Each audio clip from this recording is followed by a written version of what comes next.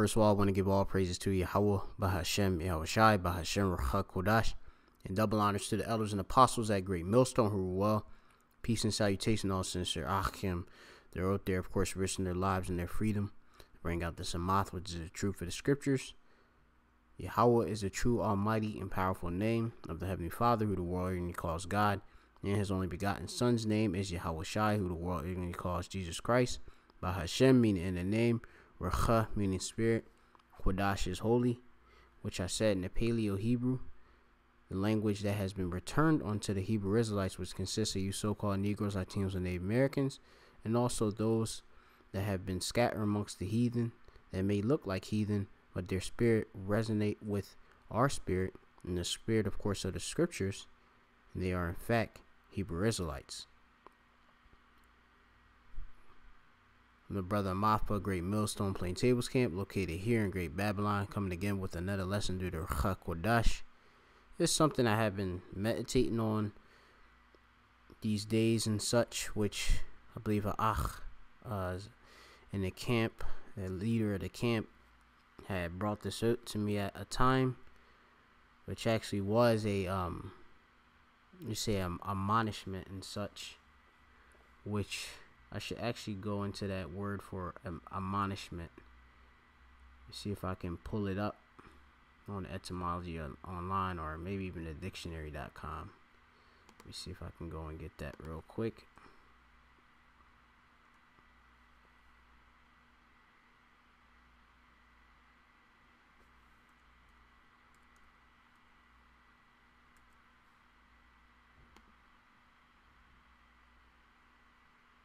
Right, which the word for admonish means to warn or reprimand someone firmly.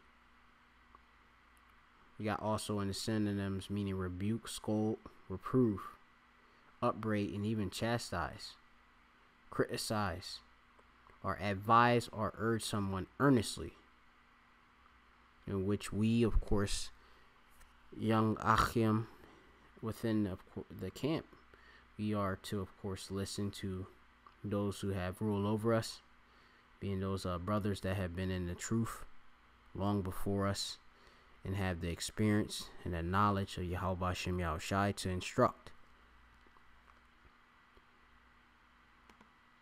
In which the scripture is here. This is Ecclesiasticus 21 and 20, and it says, A fool lifteth up his voice with laughter but a wise man does scarce smile a little, which that word scarce, I must go into, which in a definition, it means um, insufficient for demand, rare. Okay, so you know, of course, if something is scarce scarce is is not um you say in a high abundance and such all right? It's it's short as it says here all right? Scant meager all right? So you know you you will barely smile if you are a wise man mostly put which we being men of Yahweh Bashem Yahweh we are commanded to, of course, gird up our loins like a man, as you will read in the book of Ah Yawab or Job 38 and 3, which I'll, I'll actually start at the top. This uh, my physical scriptures. It says, Then Yahweh, which that's the Most High's name, which means He is, He exists, answered Ayawab or Job, which means persecuted, up of the whirlwind, and said, It's a whirlwind, you're talking about a chariot, or what they call so called UFO. And it says, Who is this that darkeneth counsel by words without knowledge? Gird up thy loins like a man, for I will demand of thee, and answer thou me. So we, of course, are called to be men, all right, in which becoming a man of Yahweh Bashem Yahushai, you are a man of wisdom. Are, or as you say, they have wise men, or Ayash Chakam, which uh, Chakam is wise, Ayash means man. All right, we if we are are wise men of Yahweh Shem Yahushai, we ought to of course put our all into seeking that perfection and being in the matter of upright conversation, behavior, to of course administer the works of Yahweh Shem Yahushai and to be example unto the flock of Yahweh Shem Yahushai of the hopeful elect. Because this of course is all for the elect. Which I'm going to go into another scripture. This is going to be the book of First Corinthians 13 and 11. It says, When I was a child, I spake as a child. I understood as a child. I thought as a child. But when I became a man, I put away childish things. Which I want to go into that word for put away, which we have it in the Greek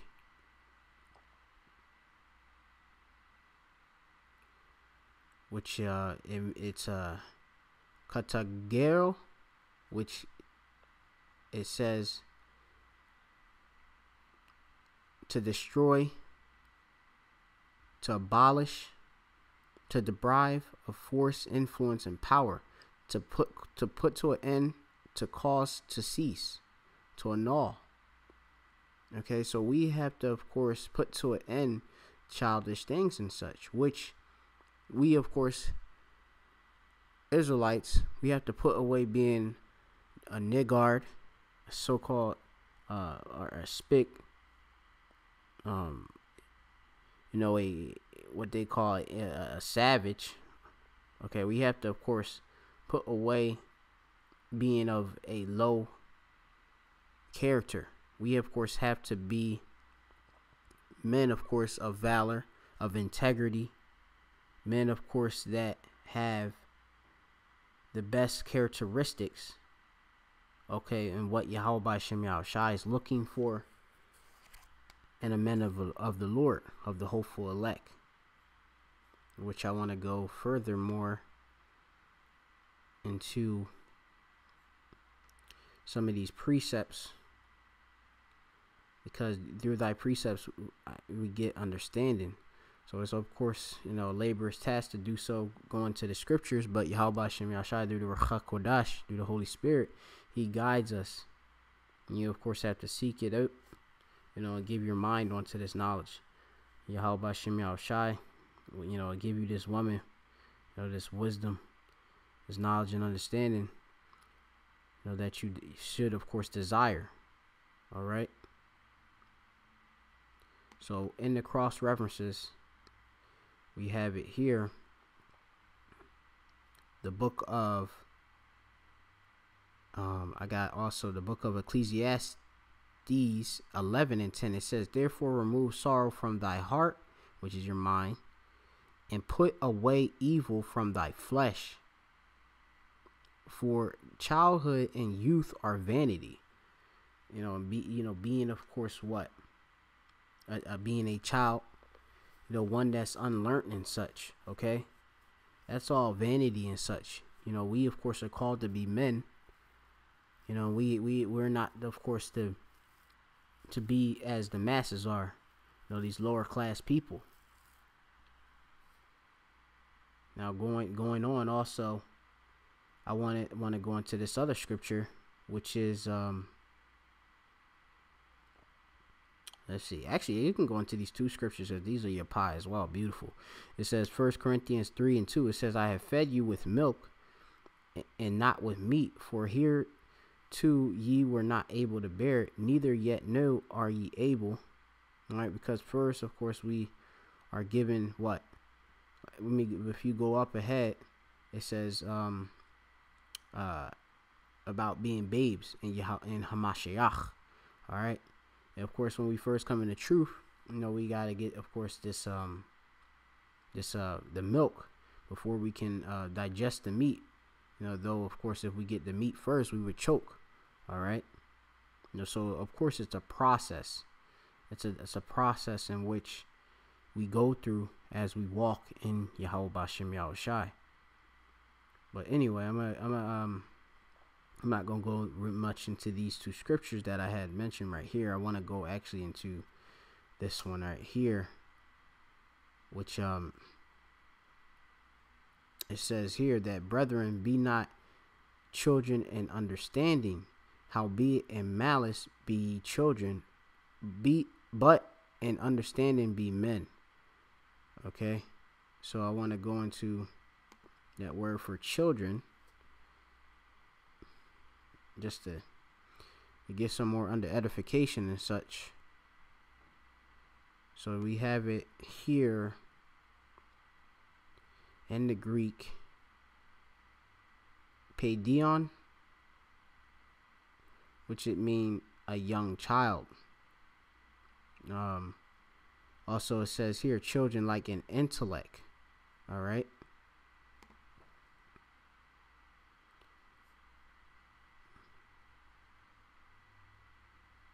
Brethren, be not uh, children in understanding, right? Because we have to grow, and there's levels, of course, in this truth.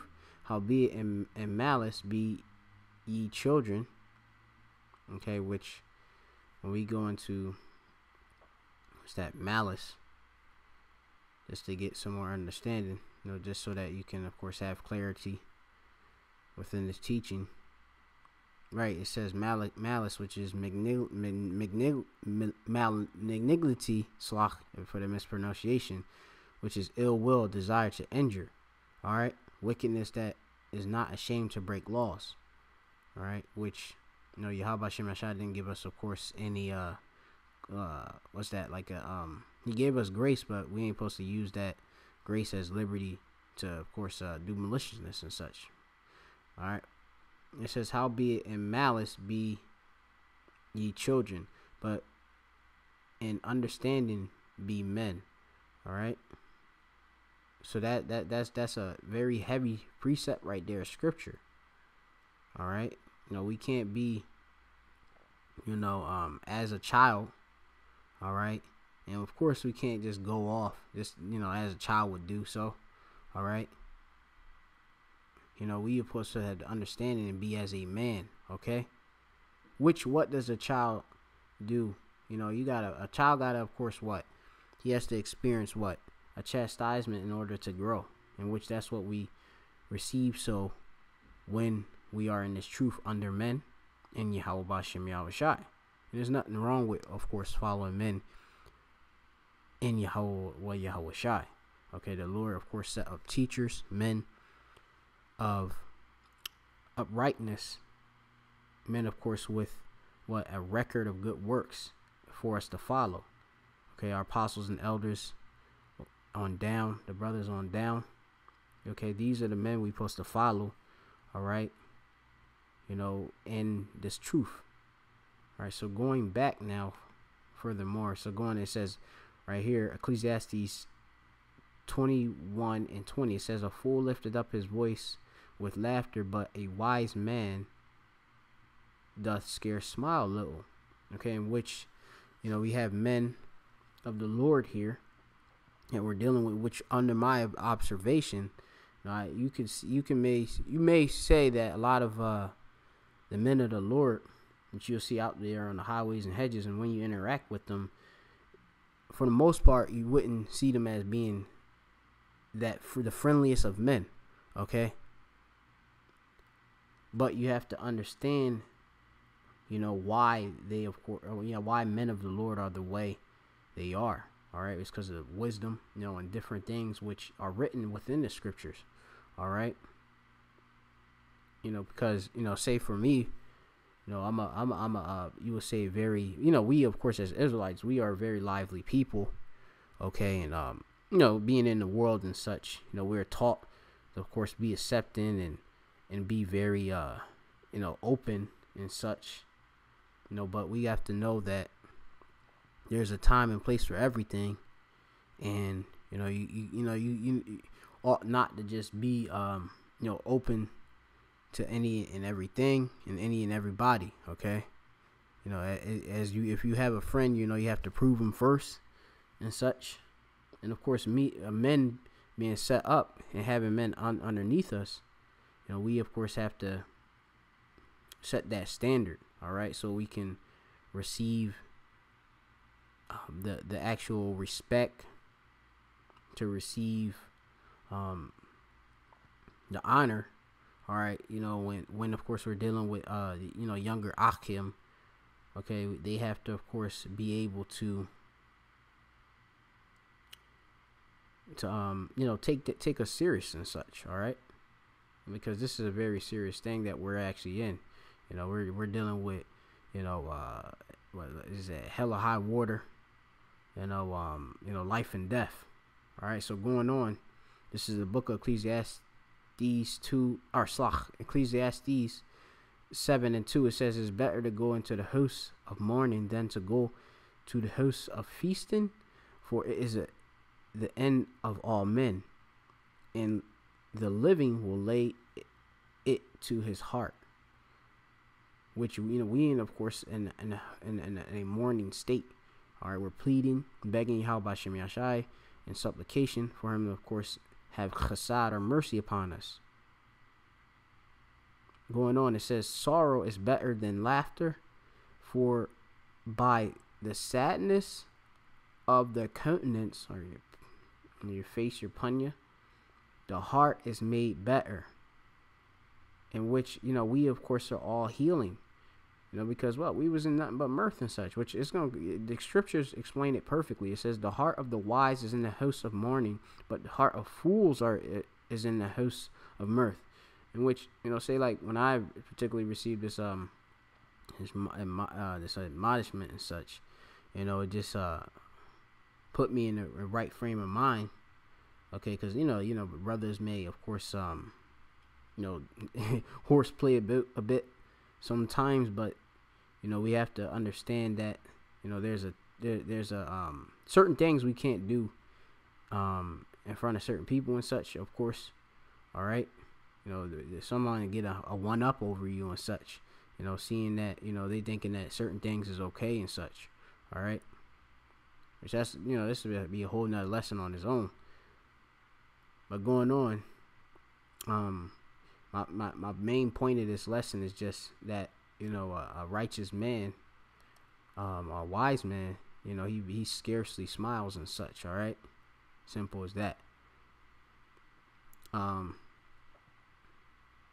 going on it says uh, it is better to hear the rebuke of the wise than for a man to hear the song of fools. And that's uh true you know we don't want to tell you uh we ain't gonna tell you what you want to hear we're to tell you what's good, you know, what's wisdom, what's righteous. Going on, says, For the crackling uh, under a pot, so is the laughing of a fool. This also is vanity. And, you know, you got, um, you know, certain brothers that's, um, are not you, I wouldn't even say, uh, brothers, but, you know, you got certain guys that's out there that, that just in a, a, a, a mirth and joy uh, you know, super happy all the time and such. All right, and accepting on you know everyone. You know, it's that's not the way to be. All right, you have to deal with everything with what decently in order. You know, in the way you how about set set it up to be. Okay. Now uh, we're gonna go to some more scriptures. Um. Now this is gonna be just the last couple scriptures I have which is Sirach 19 in the Apocrypha, which called the original King James Bible, 1611. So-called white man tried to hide, of course, the Edomites. That's who they actually are. They're the wicked of the Bible. They try to hide all this wisdom, knowledge, understanding away from us, but Yahweh Shemashai gave it back onto us. All right, onto the who, not everybody, the elect of Yashala. All right, which you know we pray you know, and beg that we are part of that hopeful elect number, okay? That 144,000 prophets, all right? That's what we pray to be a part of. And if you're not a prophet, you know, you, you just be a believer in Yahweh Shem Shai, whether you be a man, woman, or a child. But going on, it says here that the knowledge of the commandments of Yahweh Bashem Yahushai is the doctrine of life. And they that do the things that please him shall receive the fruit of the tree of immortality. Which what you get paradise. You get all this wisdom, knowledge, understanding in Yahweh Shem Yahushai. Alright, and what? With this wisdom, alright, it's gonna lead you to what? To, to your salvation, which if you're saved on this side, you'll be first to partake with the blessing of immortality, which was promised, of course, unto the nation of Israel, starting first with the elect. All right, because uh, you know, with uh, with righteousness, of course, that's the beginning of uh, immortality and such. Now, you can find that also in the um, in the Apocrypha. Um, I may go into that in another lesson, but I want to bring out one last scripture. All right, which uh, this was good. This is uh, uh the book of Sirach 13 and um, and and or Sirach 19 and 13 it says admonish all right which is the warn okay? That stiff warning and such. A friend it may be he that ha not done it but if he have done it that he do it no more. All right in which you know say sometimes you could get rebuked and you know um not be guilty of it but then like i said there's times when of course you know, you receive an admonishment, all right, and you be like, oh shoot, you lay it to heart and such, all right. You know, and it and it corrects you, all right. Going on, it says, admonish thy friend, it may be he hath not said it, and if he have, that he speak it not again, all right. And that I mean that goes into a lot of things and such, all right. But you know that's basically it on that. Um now just something i you know i had noticed through the spirit of Yahweh by Shem Shai you know um i would say more so in the world you know i used to look up to you know um say like different movie characters like michael Jai White which uh or make michael Jai White as i believe that's how you pronounce his name all right i remember in some of his movies like the movie blood and bone you'll see that him being like basically he wouldn't really smile at all. All right. He he basically um he was he was like austere and such basically. All right, and that's how our Lord is. He's a austere man, which of course you can read that in the book of Luke, Luke 19 and 21. It says, "For I fear." 1921 says, "For I fear thee, because thou art an austere man." thou takest up that thou layest down, not down, slach, and reapest that thou did, did, did not sow. It says, And he said unto him, Out of thine own mouth will I judge thee, the wicked servant.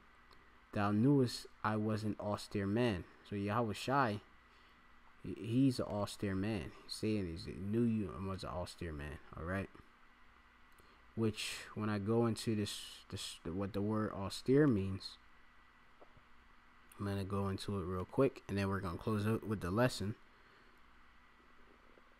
It says, um, of mind and manners, harsh, rough, and rigid. It comes from the Greek, which is austeros. Okay, which harsh and rough and rigid. You know, someone who's rigid, that's someone who's hard to move, okay? Which is rooted in such. Hey, basically a rock, all right? Which Yahweh, Yahweh Shai, um, he's what, um, what's that, the chief cornerstone and such, all right? Unable to bend or to be forced out of shape, not flexible, all right? You know, you're to have to, of course, be stiff, you know, not what, not double minded. All right, because what you're gonna have people coming, you know, in the times that we're heading to, you're gonna have people that's gonna try to, of course, manipulate you all types of way. You talking about the time of Jacob trouble, when you're gonna have to have that supreme chakama or wisdom to, to of course, discern people, and you're gonna have to deal with them using this wisdom, knowledge, understanding. All right but you can't be all you know all jolly and and uh, you know all all you know with everything you know you just smiling and you know basically freely accepting and such all right I mean, just look at look at the movies like the Book of uh, what's the, the Book of Eli with Denzel Washington and such. You know, you see that yeah, he was he was just all he was pretty he was pretty cold and austere. All right. You know, just to bring out, you know, some examples. You know, and visage and countenance and such. But anyway, going on. But this is very spiritual though. All right because I gave you the, the spiritual element of it, you know, the things that are behind it, all right, the spirit you're actually supposed to be in, all right, spirit of mourning and such, all right. You're, you're called to be soldiers, all right, in Yahweh Shai, all right. It says right here again, that Ecclesiasticus 21 and 20, it says, A fool lifted up his voice with laughter, but a wise man doth scarce smile a little. All right, yeah, you see a smile, crack a smile, but it ain't gonna be that often for the most part. Like like the scripture says, it's a time place for everything. All right, so that's basically it for the lesson. You know, doing going just going through the um spirit and power Yabashir Mashah, just reflecting on you know admonishment, reflecting on you know the spirit that we ought to be in. And double on that was an apostle that great millstone who well. Shalom to the elect, Yashala of Israel. Shalom.